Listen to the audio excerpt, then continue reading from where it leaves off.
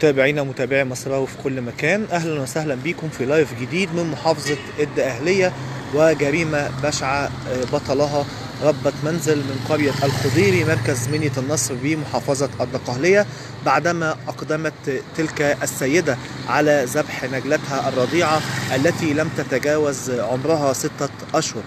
تلك السيدة تخلصت من نجلتها ذبحا بسكين ثم اتجهت إلى حماتها لإبلاغها بارتكابها لجريمتها.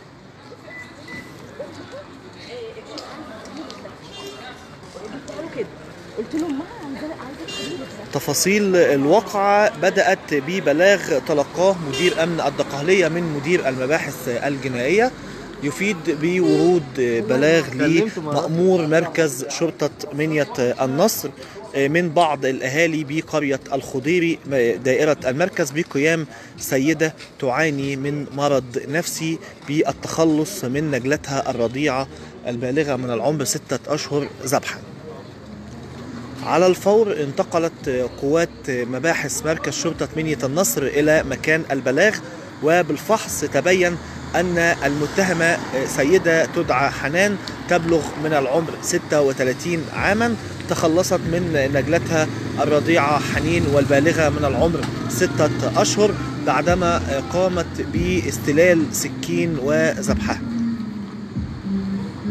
التحريات الأولية كشفت أن تلك السيدة تعاني من مرض نفسي وكانت مودعة بإحدى المصحات النفسية وهي مستشفى الصحة النفسية بدميرة وكانت تعاني من مشاكل وأزمات نفسية متلاحقة مما استدعى إلى حجزها بالمستشفى لكن كانت تلك السيدة حامل خلال فترة إيداعها بمستشفى الأمراض النفسية وبعد شعورها بألام الحمل جرى التصريح لها بالخروج من أجل الحمل على أن تعود مرة أخرى.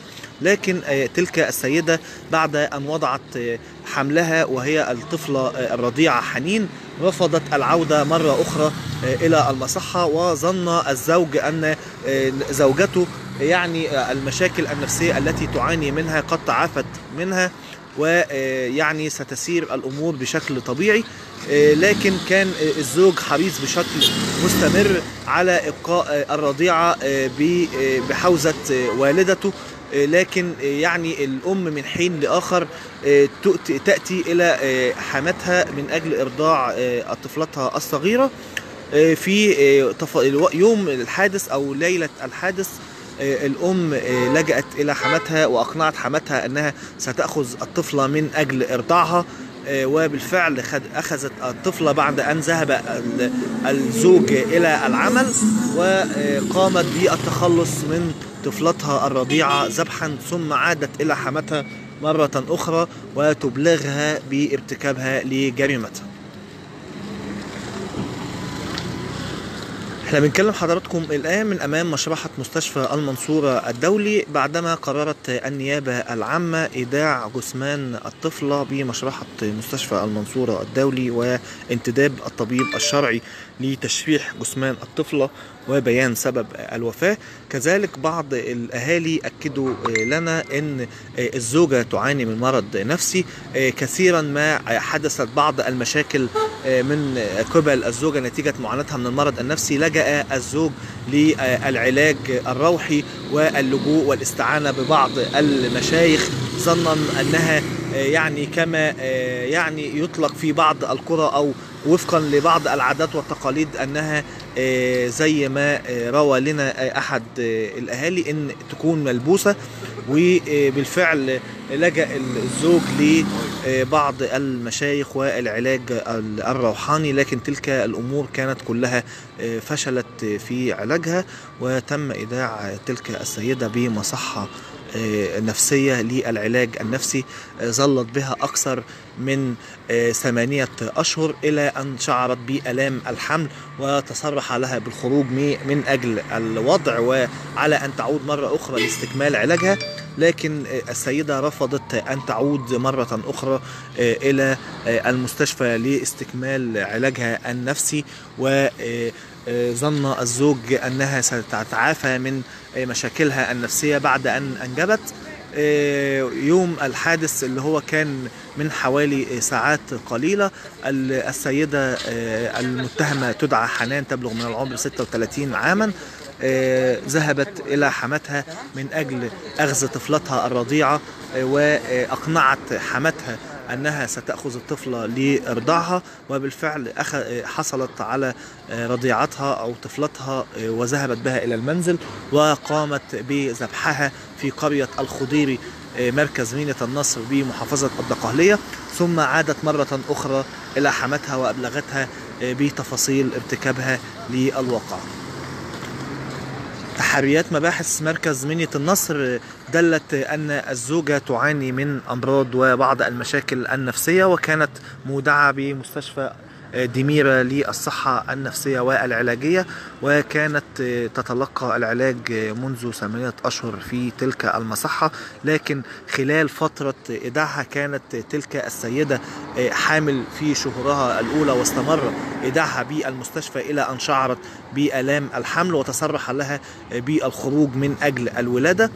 بعدما خرجت للوضع وضع رفضت الزوجة استكمال علاجها بالمصحة النفسية وظن الزوج أن زوجته تعافت بعد إنجابها. استمرت ستة أشهر من بعد إنجابها داخل المنزل ولكن كان الزوج يحرص على إبقاء نجلته الرضيعة بصحبة والدته. لكن كانت الأم من حين لآخر ترضع طفلتها. لكن في ليلة الواقعة قامت الأم بإقناع حماتها التي كانت ترافق رضيعتها أنها ستأخذ الطفلة من أجل إرضاعها وتعيدها مرة أخرى إلى حماتها. أخذت السيدة المرتكبة الواقعة طفلتها الرضيعة البالغة من العمر ستة أشهر وذهبت إلى المنزل ثم استلت سكينا وقامت بذبح طفلتها الرضيعة وعادت إلى حماتها مرة أخرى وأبلغتها بتفاصيل ارتكابها للواقعة تمكنت قوة من مباحث مركز شرطة منية النصر من آه، ضبط السيدة التي أهزت ببعض العبارات الغير مفهومة آه، نتيجة معاناتها من مرض نفسي آه، ثم آه، أمرت النيابة العامة بإيداع جثمان الطفلة الرضيعة بمشرحة مستشفى المنصورة الدولي وانتداب الطبيب الشرعي آه، لتوقيع آه، إجراء عملية التشريح وبيان سبب الوفاة.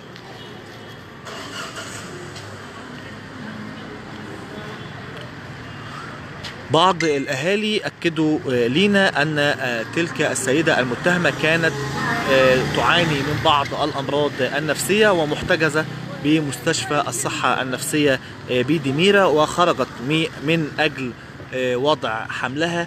كذلك أوضح لنا بعض الأهالي في قرية الخضيري أن حنان المتهمة والبالغة من العمر 36 عاما خلال الفترة السابقة كانت تعاني من اهتزاز نفسي ولجأ زوجها إلى المشايخ والعلاج الروحاني بعد أن أقنعه البعض أنها تعاني من آه، مس آه، لكن كل آه، تلك الأمور فشلت لذلك اضطر الزوج إلى إيداعها بمستشفى الصحة النفسية آه، بدمير.